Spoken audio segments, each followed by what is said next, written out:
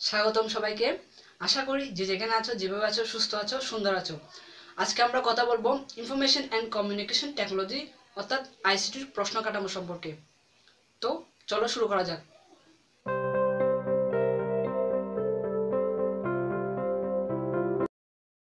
আইসিটির প্রশ্ন কাঠামো বলতে আমরা বুঝি আটটি সৃজনশীল এবং এমসিকিউ পঁচিশটি। যেখান থেকে উত্তর করতে হয় পাঁচটি এবং পঁচিশটি এমসিকিউ মোট পঁচাত্তর নাম্বার। বাকি পঁচিশ নাম্বার প্র্যাকটিক্যালের উপর বেস করে কলেজ থেকে দেওয়া হয়। এতটুকু আমরা অনেকেই জানি। কিন্তু আমি আজকে কথা বলব আইসিটি প্রশ্ন কাঠামোর একটি ভিন্ন পদ্ধতি সম্পর্কে। আমাদের ইন্টারের আইসিটি বইয়ে মোট অধ্যায় রয়েছে ছয়টি। ছয়টি অধ্যায় থেকে মোট আটটি সৃজনশীল আসে।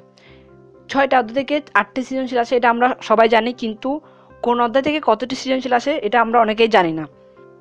তো আসো, জেনে নিই। আমি এখানে অধ্যায় এবং প্রশ্ন সংখ্যা আলাদা আলাদাভাবে লিখে দেখাবো।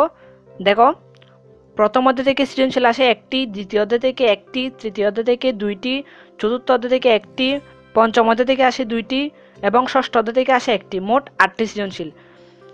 এখানে তোমরা স্টার দেওয়া কিছু অধ্যায় দেখতে পাচ্ছ।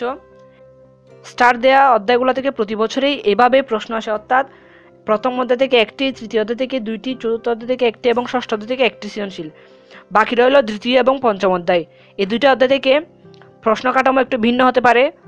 যেমন, দ্বিতীয় অধ্যায় থেকে দুটি সৃজনশীল আসে, আবার পঞ্চম অধ্যায় থেকে একটি সৃজনশীল আসে। আমরা জানি পঞ্চম অধ্যায়ে দুটি করে অংশ রয়েছে। তাই দ্বিতীয় অধ্যায়ে একটি সৃজনশীল এবং পঞ্চম অধ্যায়ে দুটি সৃজনশীল আসার সম্ভাবনা বেশি। কিন্তু কিছু কিছু বছরে দ্বিতীয় অধ্যায় থেকে দুটি পঞ্চম অধ্যায় থেকে একটি সৃজনশীল দিয়ে দেয়। বাকি রইল এমসিকিউ। এমসিকিউ প্রতিটা অধ্যায় থেকে চারটি করে আসবে। তাই প্রতিটা অধ্যায় ভালোভাবে পড়ে রাখা উচিত। সৃজনশীলের জন্য প্রতিটা অধ্যায় ভালোভাবে না পড়লেও এমসিকিউর জন্য প্রতিটা অধ্যায় ভালোভাবে পড়ে রাখা উচিত। অন্যথায় এমসিকিউতে ভালো নাম্বার পাওয়া কষ্টসাধ্য হয়ে পড়ে। এর পরবর্তীতে আমরা কথা বলব, কি করলে আইসিটিতে ভালো ফলাফল করা সম্ভব?